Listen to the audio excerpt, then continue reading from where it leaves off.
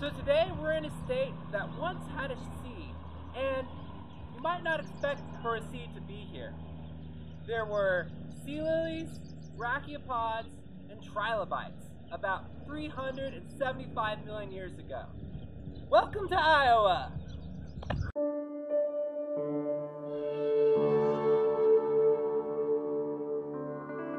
In today's episode, we'll be traveling to the Fossil and Prairie Center in Rockford, Iowa, where we'll meet up with members of the Mid America Paleontological Society, or MAPS. There, we will be collecting fossils from an ancient, shallow, tropical seaway. We'll then meet up with MAPS member Jim Preslicka in order to talk about some important cephalopod fossils to Iowa.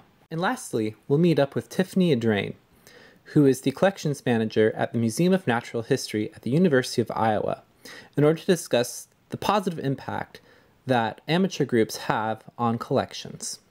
So, right now we are in Rockford, Iowa at the Rockford Prairie and Fossil Preserve.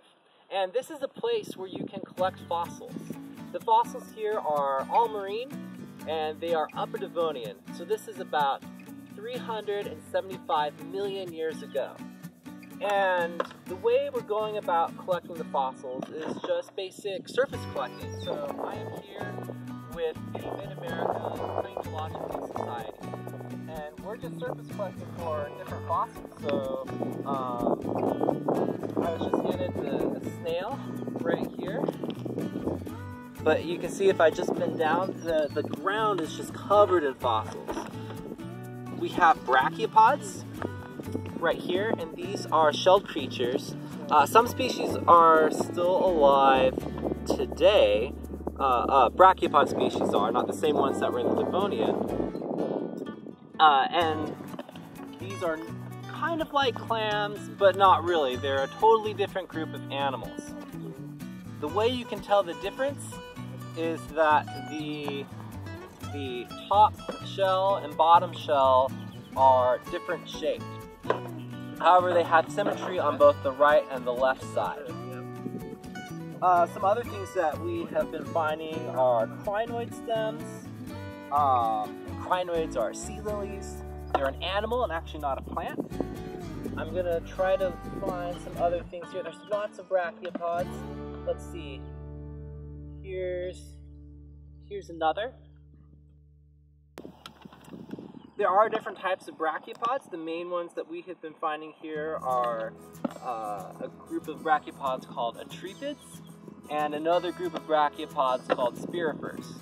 And spirifer brachiopods look like they have wings on the sides of their shells and the atrypids have a, a dome shell on one half and the other shell half is, is more flat.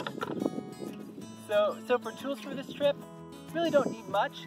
Really just a bag or a bucket. Uh, you can bring a rock hammer with you if you would like, uh, just to maybe loosen some things up, but it's very easy surface collecting. You can literally just pick things up from the surface like that. So no special equipment and there's also no special uh, preparation or stabilization to worry about.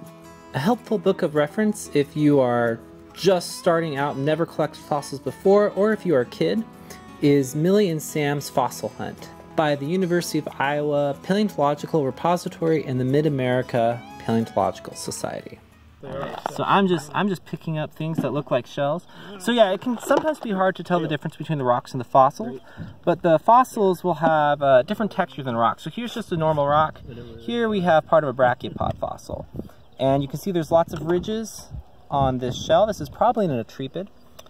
And the rock uh, has more of a, a, duller texture and it doesn't have those, those ridges on it. Um, the fossils will also probably glisten a little bit more in the sunlight, than, than the dull rocks. So that's how you tell uh, the difference between a lot of these brachiopod fossils. There looks to be another one right here, if I can wedge it out of the ground. Another important aspect to remember is that you cannot sell the fossils uh, from this site, uh, but you can uh, come in and do this, this sort of surface collecting uh, for your own research or uh, just for fun, casual purposes.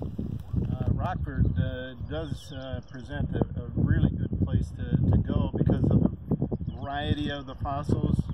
Uh, they're not in matrix, so they're easy to get, for anybody to get out. The kids can get them out. They can sit in one spot and pick up a lot of fossils. Um, and it's uh, obviously free to get in. Uh, come in anytime. It's open, and um, it's just uh, a good, good family place.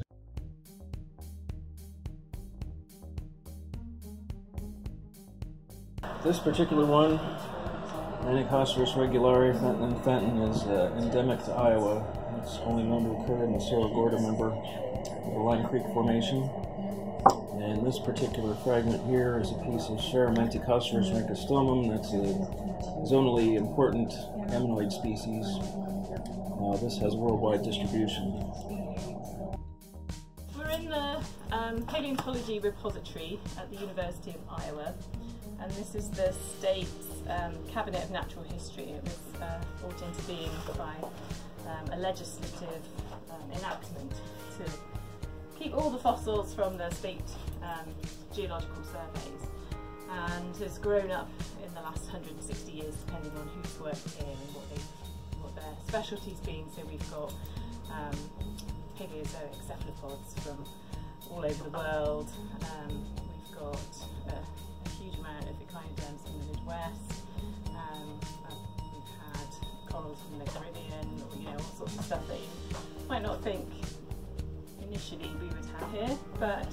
Bulk of our material that's being collected by uh, the local fossil collectors is obviously going to be Midwest Paleozoic material. So this is an example of some of this material. Um, and this was collected by the Black Hawk Gem and Mineral Society. Um, they had an agreement with the um, quarry owners, gave permission to go into the quarries to collect as long as the material came here. So I was informed that there was one cabinet of material, and now there's like two rooms of material for the building, uh, slightly off campus. But um, I don't, I don't think I can find the specimen offhand, but um, it was a, an important collection because um, originally, for example, we only had one specimen, the holotype, and a couple of um, partial specimens of one particular species. Um, and they found over 100 more of them. Oh, wow. 200 more of them. So, you know, done, they've done amazing, amazing contributions to the um, the collections, and we actually got project um, some funding for a project where they curated the material themselves as well. So. All right, guys, thank you for watching this episode of 50 States of Fossils.